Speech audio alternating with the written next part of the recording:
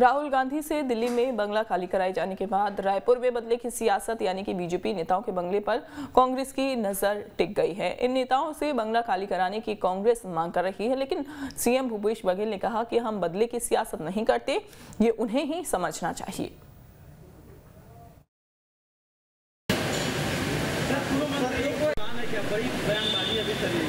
बदले की राजनीति नहीं करते यदि वो निकालें तो खुद उनको सोचना चाहिए। बदले की राजनीति नहीं करते। यदि वो निकालें तो खुद उनको सोचना चाहिए।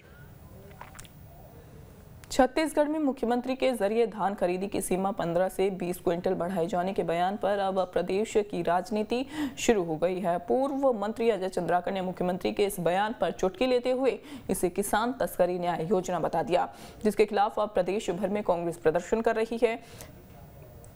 किसानों को अपमानित किए जाने को लेकर जिला सहकारी बैंक और किसान मोर्चा सड़क पर उतर आया है।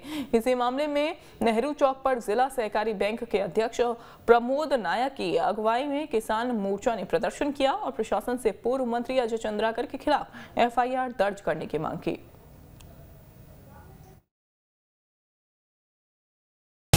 भारतीय जनता पार्टी की सरकार जब से सत्ता में नहीं है तब से बौखलाई हुई है। छत्तीसगढ़ की सम्मानी जनता ने जिस प्रकार से झाड़ू लगाकर भारतीय जनता पार्टी की सरकार को साफ़ किया है, उससे उनकी बौखलाहट कम नहीं हो रही है। पहले दिन से हमारे माननीय मुख्यमंत्री जी हमारी सरकार किसानों के लिए काम कर रही है। चाहे किसानों का ऋण माफ़ी हो, नौ हज़ार करोड़ रुपए से ज़्यादा ऋण माफ़ किया गया।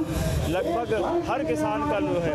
वो हम लोगों ने पच्चीस सौ रुपये क्विंटल में धान खरीदा। भारतीय जनता पार्टी के समय पंजीकृत किसान 15 लाख हुआ करते 12 लाख 13 लाख हुआ करते थे आज पंजीकृत किसान साढ़े चौबीस लाख के आसपास हैं।